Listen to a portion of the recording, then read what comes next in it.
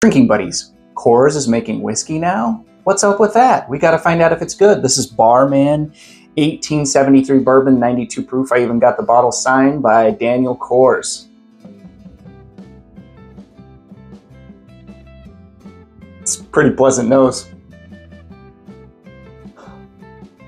Definitely giving me that 1792 uh, uh, nose uh, where you get like the cinnamon, slight cherry, and uh, something that's some people say is banana. I think it's a little bit more pear. Definitely changes into banana on the palate. There's some oak here, a little bit of something nutty. So banana and nuts together, hot fudge sundae or something. I don't know. I would say it's comparable to things like 1792 small batch, Evan Williams, uh, 1783, uh, Wild Turkey 81. You know, right in that realm. Cheers.